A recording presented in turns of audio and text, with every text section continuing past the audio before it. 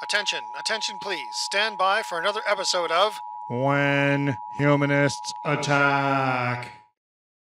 What is mass psychosis? Evening, this is Roger Kimmel Smith for When Humanists Attack with my co hosts Chris West and Vincent Downing. And we're going to react to a video about mass psychosis put out by the After Skool project of the organization Academy of Ideas. Let's get right to it. This video starts with this wonderful quote from Gustave Le Bon uh, from the psychology of uh, the crowd, La Foule. An intro from Gustave Le Bon. Uh, I've never heard of this guy before personally. Psychology of crowds, early 20th century, pre World War. Uh, so this is this sets the stage, right? We've got this uh, discussion about uh, a, a, nefarious uh, possibility that people can can uh, uh, manipulate people and have them as their victims, which is a theme we're going to be seeing through the whole thing. So the Academy of Ideas defines mass psychosis as the a large portion of the population losing touch with reality and descending into delusions. We're actually uh, following the video fairly closely in that we're looking at a particular kind of mass psychosis, which is totalitarianism, uh, mm. and how it uh, uh, how it occurred in various places, the general principles behind it, and during the last century. Although um, they give another good example of uh, the the witch trials in North America, you know, another way of thinking about how a population can go crazy. Well, you mentioned the Dutch tulip craze. Well, the witch, witch trials can happen, but of course the, the, the witch trials in the witch trials in Europe uh, yes. basically was what they were talking about. But sure, the witch trials in North America too, uh, and I'd like to say that right across an ocean. The the the principles underlying this video have been familiar to me since I was a teenager of about 15 and I read uh, George Orwell's 1984 where he gives us another really good example of what a population becomes like when this sort of thing is exercised uh, systematically. Let's get more into I think like what we think is actually going on out there and why this video concerns us enough to make a, a reaction video to it. Um, because uh, spoiler alert, I think the, uh, the the process of the slide into totalitarianism is well underway, uh, and certainly oh, in the United States, well underway. Uh, probably a lot further than I, as an individual, really even wants to credit that we are, just you know, out of whatever false hope, etc. Uh, how about you, Chris? What do you think about that particular? I think that we're seeing challenges to our civil society that we haven't seen before. We have technologies that are affecting us in ways that we've never interacted with before. It's a completely new place. Uh, television was called the the boob tube for for a very long time, and and part of that was because it lobotomized people the whole idea is that it, it made your brain mush. Um, and now people are able to be on their television uh, in their hands uh, every waking hour. And um, i think that the graphics that they use i mean the one that's on the screen right now is a really good uh, indication of of the uh, approach that the the academy is taking here uh, and I'm I'm with it. I've been noticing uh, just in my own life um, how I've been affected by too much uh, screen time with Facebook and TikTok and and other things that I've been doing. Some of which I think is a very good place to get my thoughts and ideas out, but I'm still doing it, and I feel myself affected psychologically by that. And uh, and I think I'm a pretty self-aware person. I can imagine uh, the majority of people who are not at all aware of how this is affecting them and they're just saying oh life is different and uh, just going with it I think there's certainly are schizophrenic qualities to many of the the media that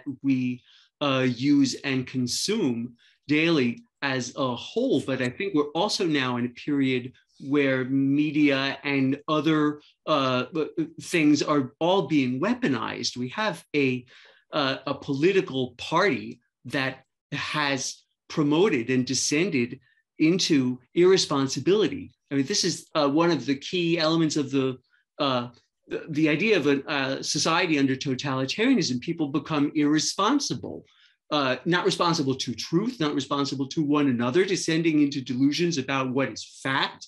And uh, I mean, this is the keystone of the era we're in because we have one of these two we two political parties in our United States, right? With the, the D's and the R's, but the you know if R is uh, for responsible, they don't deserve to have an R because this is a party of complete irresponsibility psychosis, here it is, and violence, of course, is the last piece of it. Propaganda and violence are inextricably related, was one of the key points of, uh, of Mein Kampf, embraced by the party we're up against. And this is also very clearly uh, the effect of a cognitive, cognitive dissonance, right? People are seeing things that are contrasting with what they're they're told things are and that creates an unease we know that very clearly because we've we've also uh, I've had experience, but we've also looked at people who are coming out of deeply held fanatic beliefs, and and their that psychosis once it leaves gives them kind of a view of things like holy holy crap what have i been what have i been thinking? What have i been doing? Um, and uh, I, I think that it's been incredibly normalized uh, to the point where if you're not doing it like if you're asked to turn in your phone for an evening uh, people like ooh um, so hmm. uh, but i'd like to jump into and, and and get a little more of the of the the setup for this so on to carl jung indeed it is becoming ever more obvious he writes that it is not famine not earthquakes not microbes not cancer but man himself who is man's greatest danger to man for the simple reason that there is no adequate protection against psychic epidemics, which are infinitely more devastating than the worst of natural catastrophes. yeah, very well said. Uh, very wordy. I mean, we're we like that kind of stuff, you know. Well, we're, we're ready ourselves. Yeah. But look, uh, look, this is this is as they say in the very beginning of the video, as Orwell and as a whole bunch of other people have noted and used. The the basis of this is fear. Yes. Um, fear, you know, fear, and uh, you know, if we want to get uh, humanist about it, a lack of education, because what is, uh, you know, another spoiler, uh, you know, what is an the the one of the only practical answers I can think to having a society filled with human beings who are subject to this condition is teaching people how to think, teach, teaching things like critical thinking right off mm-hmm. the bat so that mm-hmm. you've got something mm-hmm. to guide you besides what makes you feel good just something, right. something but this anything. is the opposite of that this is this is you know uh, sort of diseducating or disarming the possibility of education among the population by making critical uh, and reflective thought impossible because you're always in fight or flight. That we we ab- absolutely agreed, as Sam Harris put it in one of his uh, discussions of this. There is a multi-front war going on for our attention, and most of us are losing. Losing, yeah. Yeah, most of us as right. individuals, he right. means very clearly. No, no, not some vague thing, but you sitting there right now, you're losing the war unless you're doing something about this right now. You're even losing. if you are, because you know we know that uh, our attention now has been quite effectively commodified by the algorithms of, of, of surveillance capitalism. So you know our attention is being monetized for someone else even even you know whether whether we're happen to be doing well at the moment or not yeah no well to some extent always has been say in with television what was the product of television viewers not exactly. tv shows um mm-hmm. but that's a that's you know that's a whole other well this thing. is this is like i said earlier uh agreeing with you vincent this is not different from TV. One of the things that we've learned through studying psychology is that uh, flashing images in front of a person Oh. during any kind of thing where they're not even conscious of it can uh, create reactions. So a single image can be incredibly powerful. And if that image is subliminal, that's one thing. But if that image is not subliminal, then it has a much more exposure time and it's going to have more effect. Our brain, we're, we're visual creatures. Our brains are hardwired into that stuff. And the 1920s, when they when advertising finally realized that you know uh, psychology had figured out the keys to selling stuff, you know, sex, food, greed, you know, the the the basic avarices of of humanity is the way to make money um and Well, uh, and and and then there is the sort of fear sector, which is the way not towards money but towards power Yep. and towards getting a population to disarm itself and to you know the heart of this mass psychosis video is uh, about the ideas of uh, Joost Meerloo from the Netherlands reacting to the Oh, totalitarianism the, uh, the rape of the Uh, mind. They talk about his book. the rape, The of, Rape the of the mind, Mind. and Right, uh, right. and the crime or the the the verb of menticide. Menticide. yeah why don't we move on Yeah. to to uh to that part of the video Menticide. and uh and get a look at at uh good old uh I don't know what it is, but I don't like it. Yeah so Menticide. so this is an important one i just want to stop here for just for a second because i think it's important to bring in arthur Versluis um because what arthur Mm. Versluis was studying was uh th- what happens to people who live under totalitarian regimes from a psychological point of view and what he was saying is that the people that he was studying who had lived under totalitarian regimes um, were acting like people who were suffer- suffering from psychosis.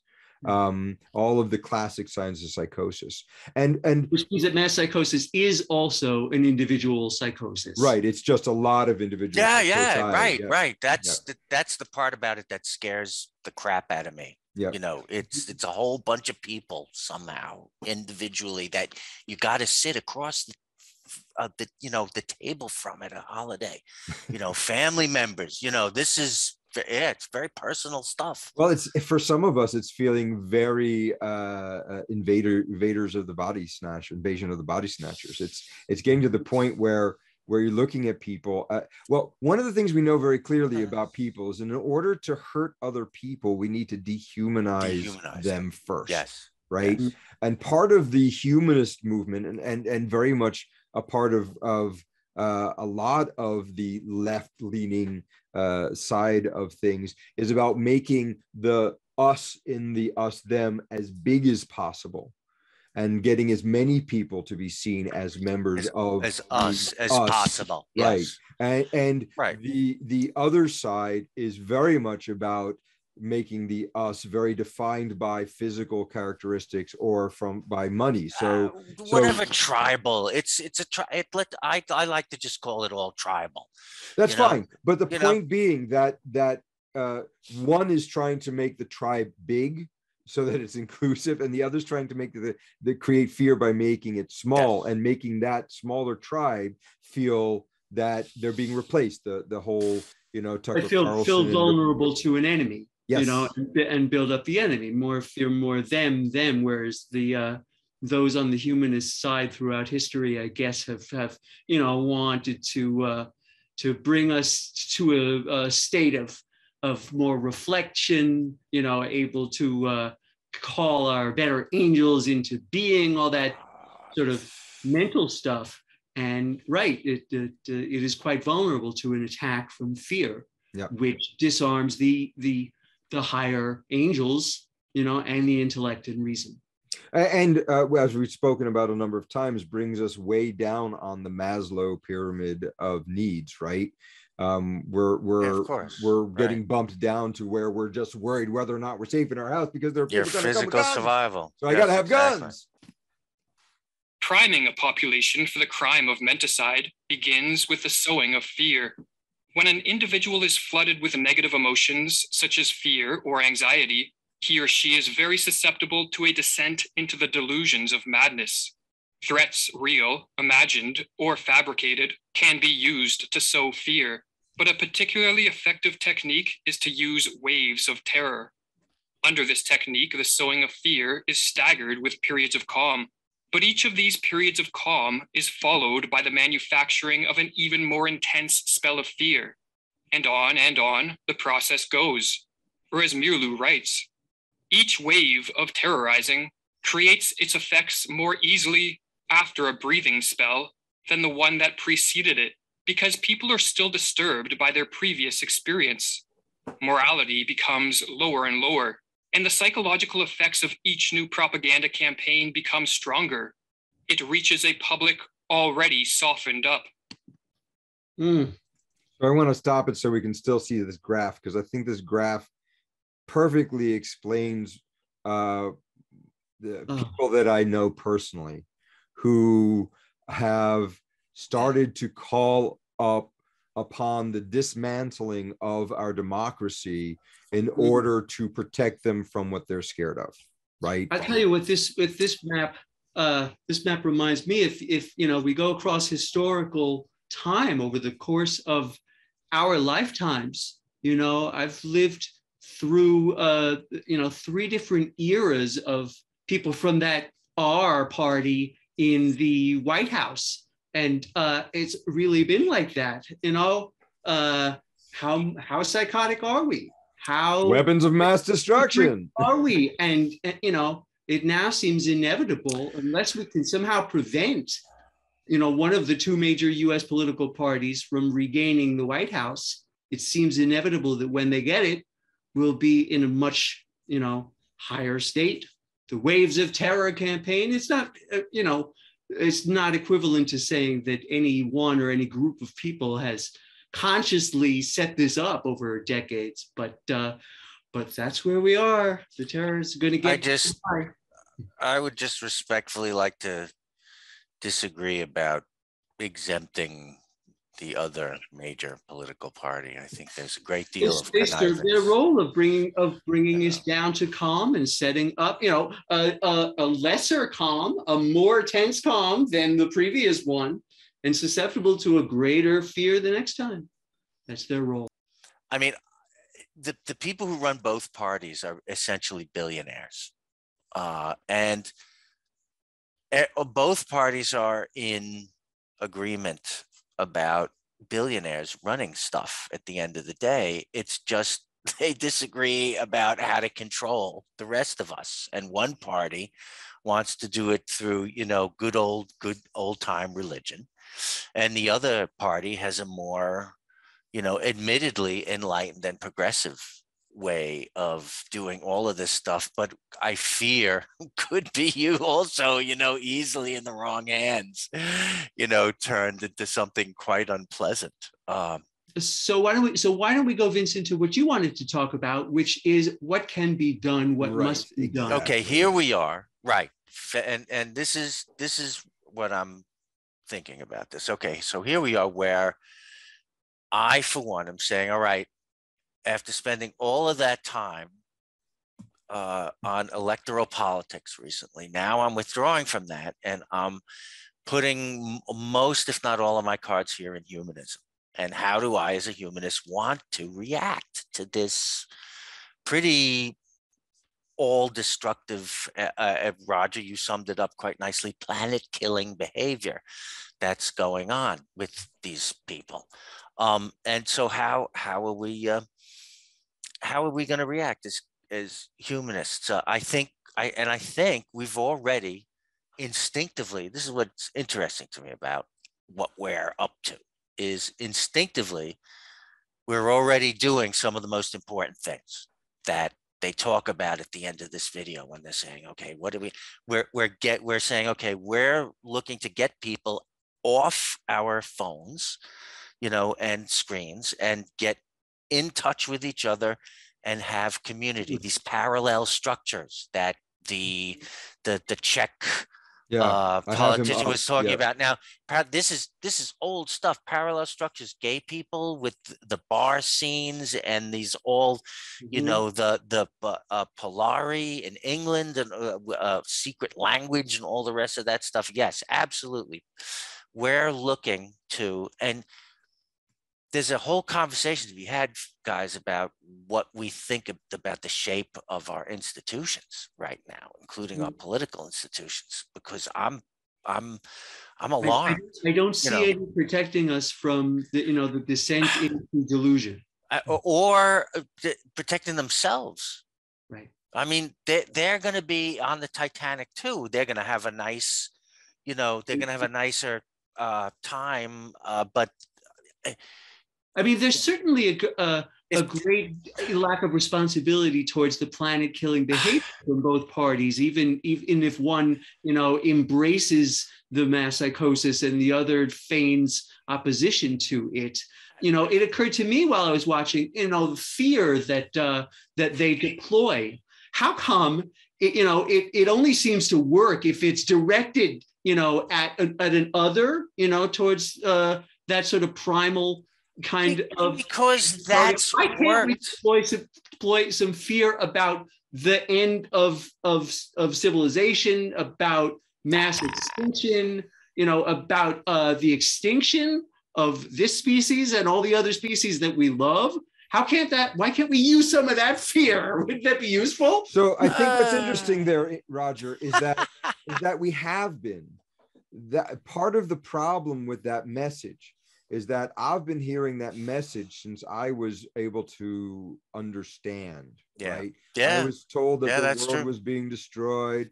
I was told that we were ruining the oceans. I was to- and and what I believed was happening, uh, and naively so, um, is I thought that the civil society, that government, which had gotten money from my parents at the time and then me later to run things, were putting into into place policies that, although going back Mm. and forth on the political spectrum, were moving us steadily towards better protections for the environment, uh, trying to look at things from a scientific point of view. We all remember acid rain. Acid rain was a huge thing. Well, you know what? We kicked acid rain's butt, but that was the 1980s, and we're not Yeah, afraid for, for anymore. a brief We're while. yeah we're so we're so desensitized to it uh, one of the things I, I always bring up when we get into this part of the conversation is breaking news. Have you ever been on a news station in the past whatever years that every little thing is breaking news and they're always